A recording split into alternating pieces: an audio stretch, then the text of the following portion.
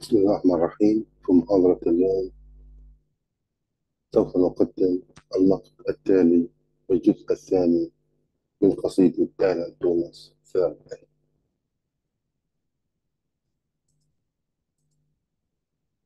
دانا توماس is a Welsh poet born in 1940 دانا توماس وهو شاعر ويلسي ولد في عام 1914 who wrote one of the most romantic, eloquent, and sensual poems in modern literature والذي كتب أعظم وأبلغ الأشعار الرومانسية في الأدب الحديث.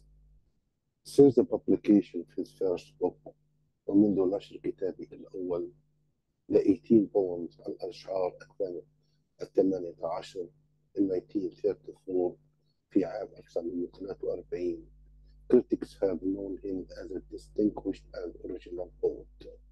لقد عرفه النقاد بأنه شاعر أصيل ومميز. Amazed and ancient readers with his verbal musical strengths and the ability to explore the deepest emotions.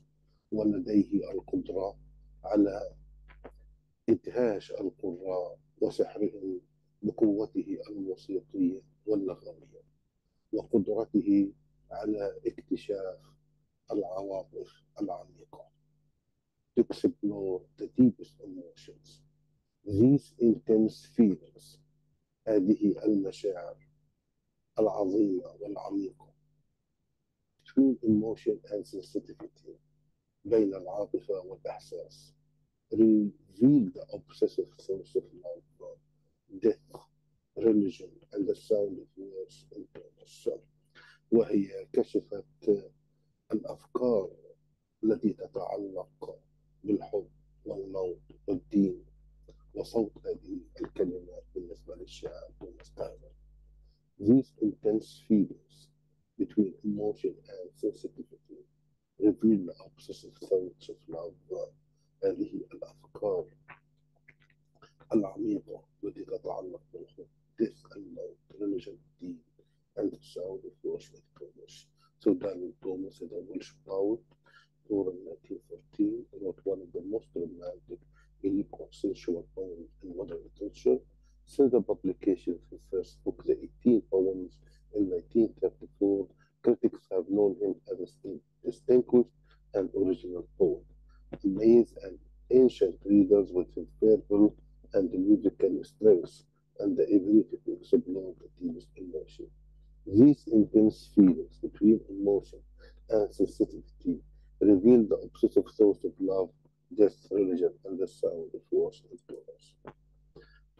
love of life is evident with a high spirited and fun filled sense of humor in his fictional and theatrical prose writings and spoken poems.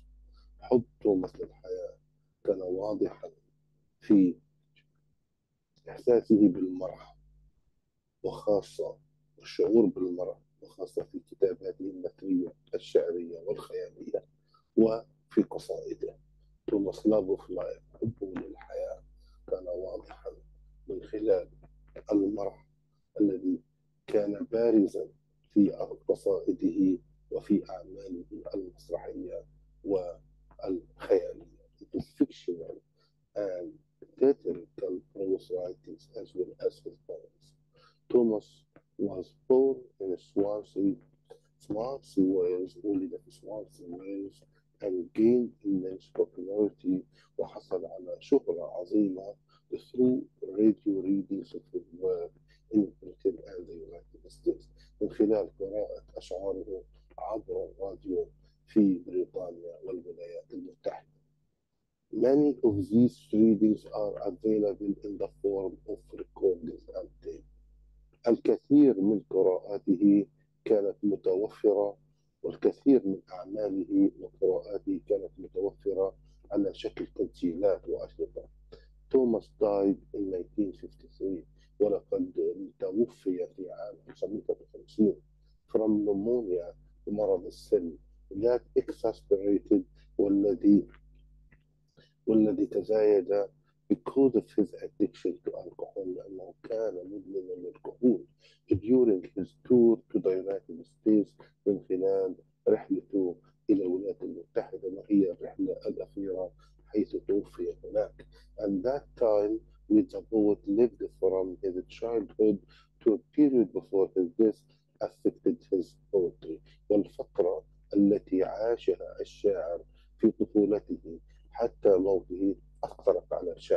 so the reader sees in Dylan writing لذلك القارئ يرى في أعمال توماس دايلن الكثير من المعاني many meanings about the concept of time حول فكرة الوقت as in the poem Verhel وطبعا فكرة الوقت كما موجود في قصيدته فعلا So Thomas life uh, Thomas' love of life of humor in his fictional and critical prose writing, as well as his poem. Thomas was born in Swansea, Wales, and gained immense popularity through radio readings of American, Britain, and the United مهم جدا ان نعرف ان كثير من الافلام لقد مثلت وتمثل حياه واعمال الكاتب توماس دارون ممكن تشوفوها مثل طبعا الفيلم ذا ايدج اوف لايف. Many of these readings ele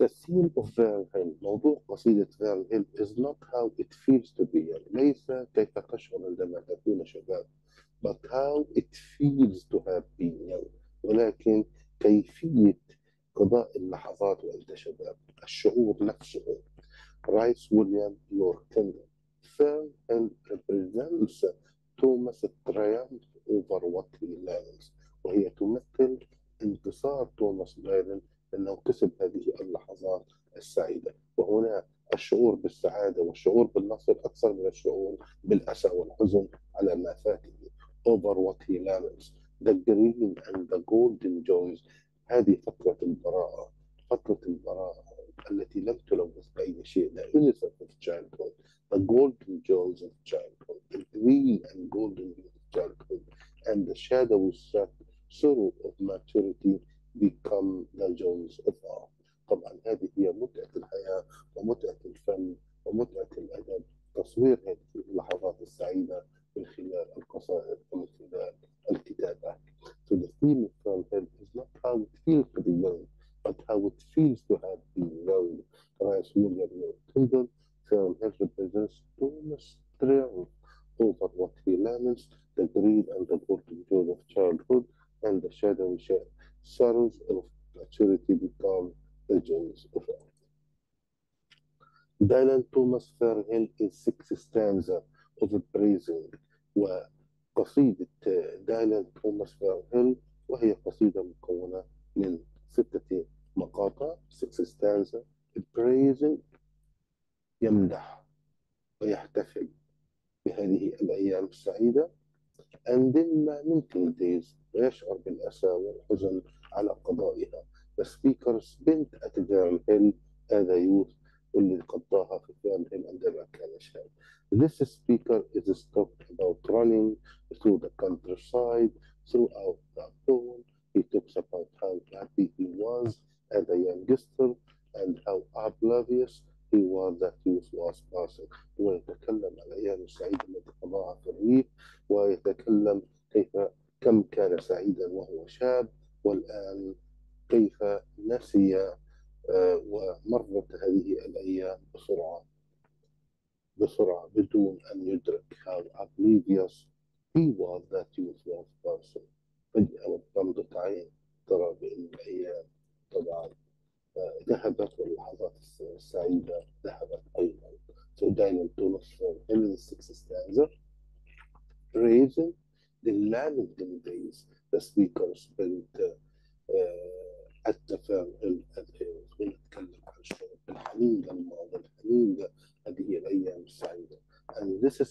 stopped not running through the countryside throughout the poem he talks.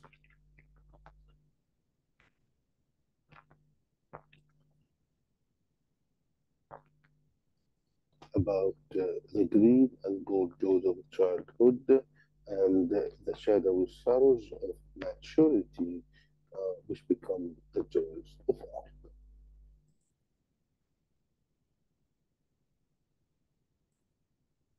The main themes of Dylan Thomas poetry were nostalgia, الشعور بالحنين إلى الماضي, life, الحياة, death, uh, الموت, and the lost innocence, البراءة المفقودة, البراءة التي تكون موجودة في الطفولة, التي لم تتلوث بالإدراك للواقع المحيط والمريض. The main themes of Dylan Thomas poetry were nostalgia, life, death, and lost innocence.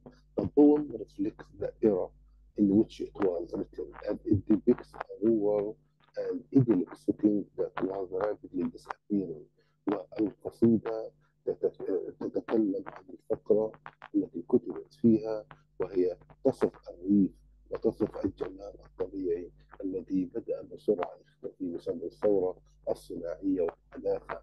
Due to industrialization بسبب الثورة الصناعية and urbanization والتمدن والحياة الحضارية المدنية.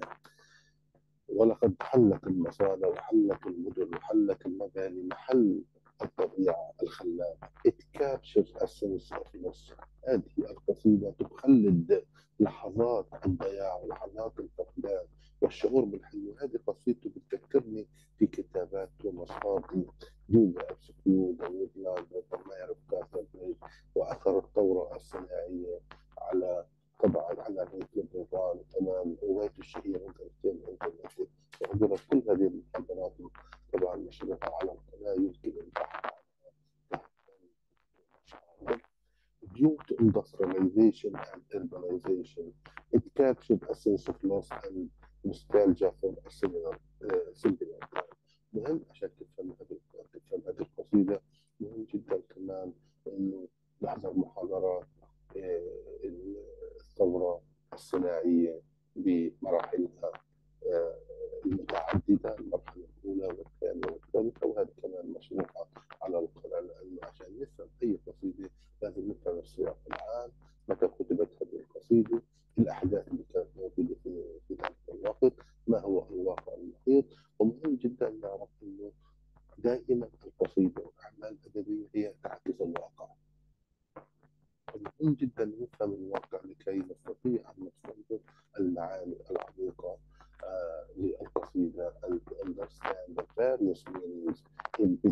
The uh, poem.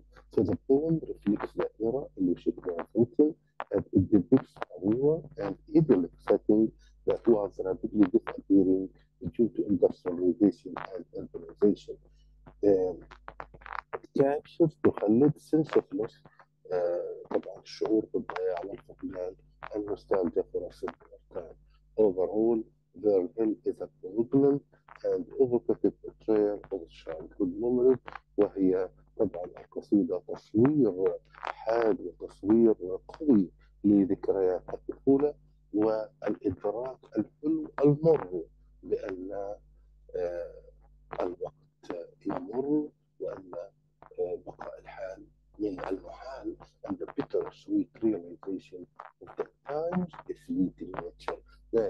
صفة الوقت بأنه يمشي ويمر ولا يبقى شيء على حاله إلا وجه الله الكريم. So the main themes of Diana Thomas poetry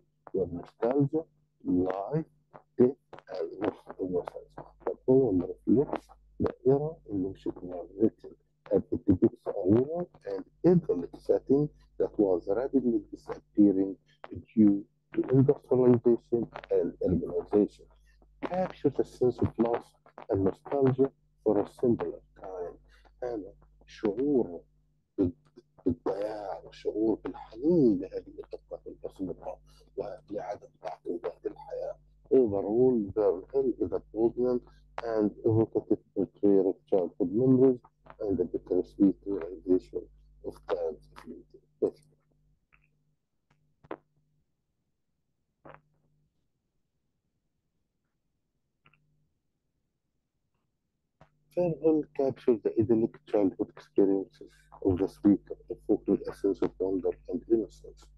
The vivid imagery and rich language creates a nostalgic and immersive experience, transporting the reader to the speaker's idyllic past.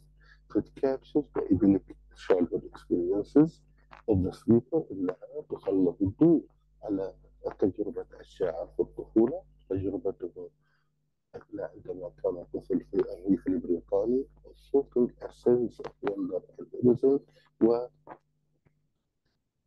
تبعث شعور بالإعجاب والاندهاش والبراءة a vivid imagery and rich language وهذه الصور القوية وهذه اللغة الأدبية تخلق طبعا تجربة عميقة وتجربة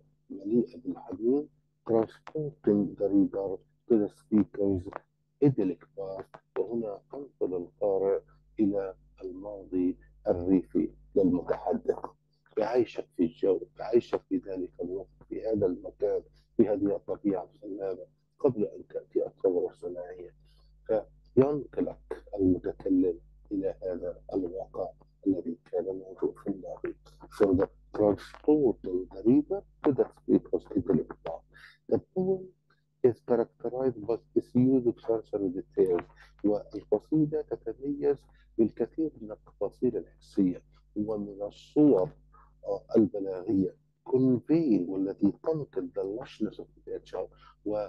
والذي تنقل جمال الطبيعة through the limit of the house the green of the grass and the golden hues of time the speaker's connection to nature is personal and they are prince of Abel Town and huntsman among the cow وينقل طبيعته من الأشجار أشجار التفاح وجمال الطبيعة وطبعا الريف البريطاني الجميل. وهذا الخضار هذه المناظر الطبيعية الجميلة ينقل هذه من خلال الصور الحسية والتفاصيل الحسية والصور البلاغية.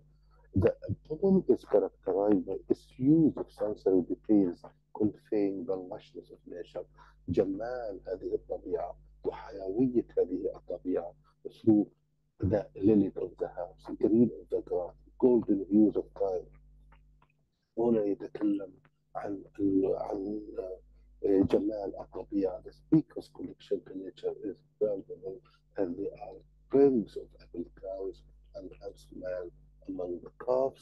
So it captures the idyllic childhood experiences of the speaker evoking a sense of wonder and innocence, the vivid imagery and rich language create a nostalgic and immersive experience, transporting the reader to the speaker's idyllic past. For uh, دايلان توماس بالنسبة للشاعر البريطاني دايلان توماس the passage of time الوقت was an idea worth exploring يعني فكرة تستحق الاكتشاف والتعليق عليها وتسليط الضوء عليها and putting to page in the form of the poem من خلال وضع هذه الفكرة في قصيدة واللي يسمىها Cold Fairy Tale. In Verheer, the Thomas explorer his own path.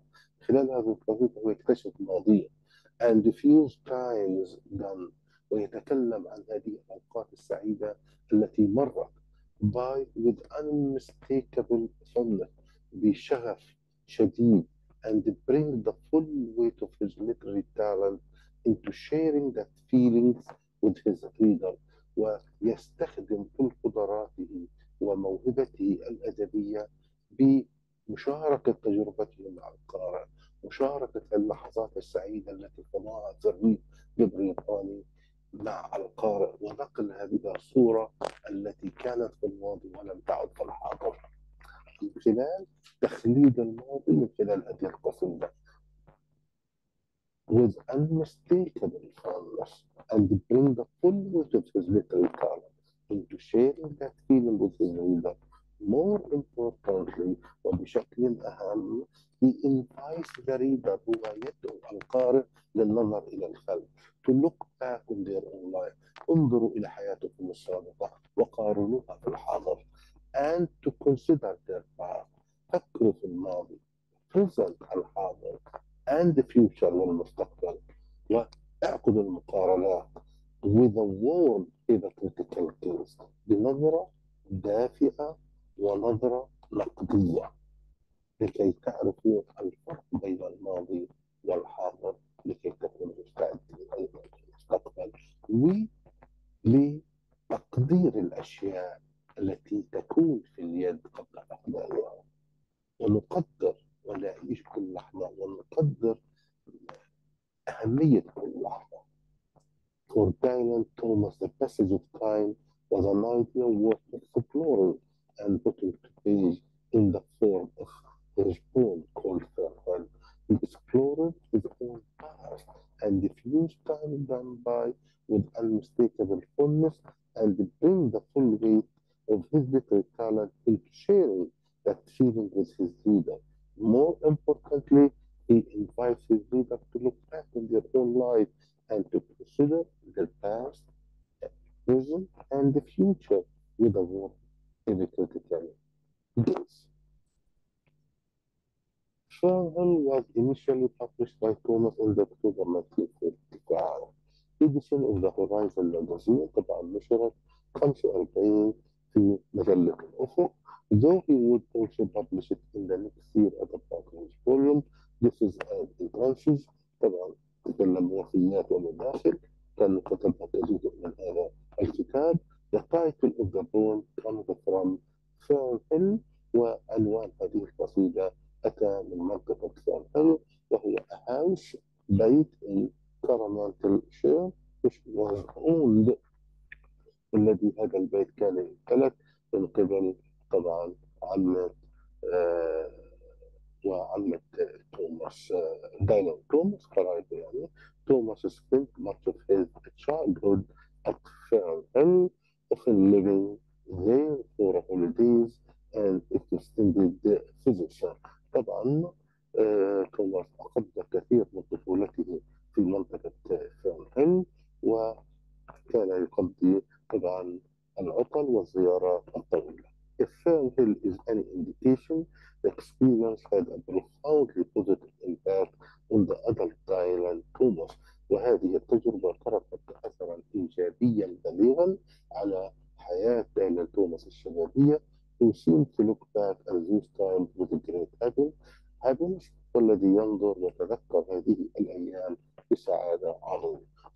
L1 initially published by Thomas in the October 1945 edition of the Horizon magazine, though he would also publish it in the next year as a part of his volume.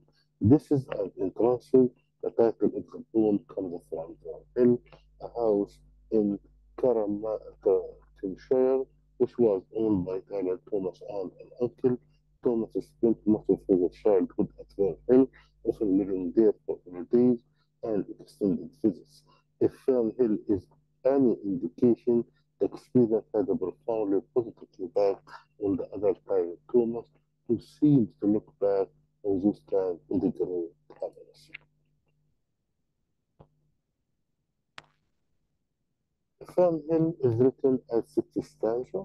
containing nine lines each طبعا هي مقسمة إلى six stanza وكل stanza تسع سطور The structure of the poem is extremely subtle and the flow relies on half rhymes as well as internal rhymes وهنا نتكلم عن تركيبة تركيبة القصيدة وهي تركيبة ذكية و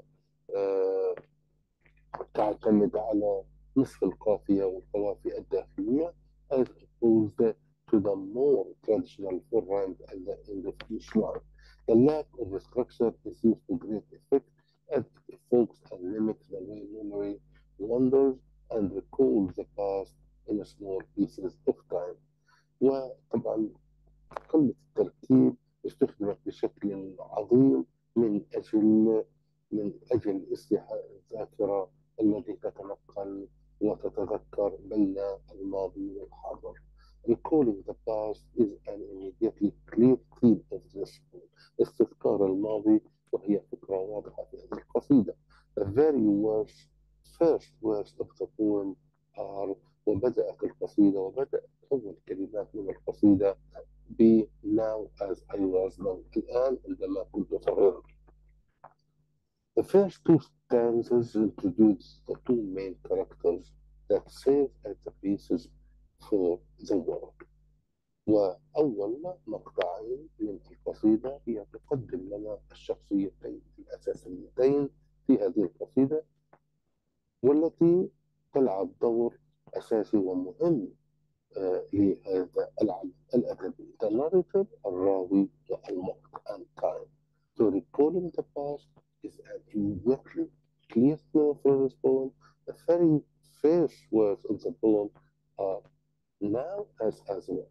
was young the first two stanzas introduce the two main characters that serve as the basis for the work the narrator and time the concept of time is personified somewhat here as it is not a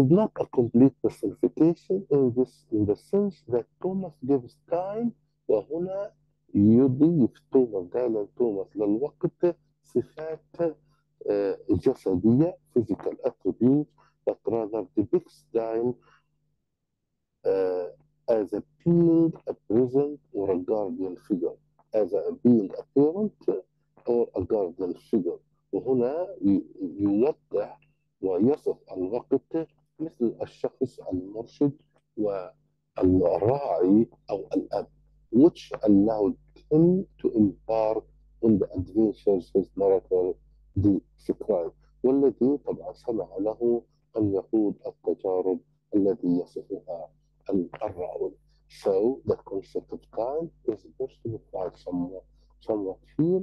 It is not complete personification in the sense that Thomas gives time physical attribute, but rather depicts time as being a parent or guardian figure. إذا هنا التجسيد ليس كاملا ولكن هو يحاول أن يصف الوقت بأنه طبعا كأب يلعب دور الأب أو كالشخص الراعي which allowed him to embark on the adventures of uh, his narrator described.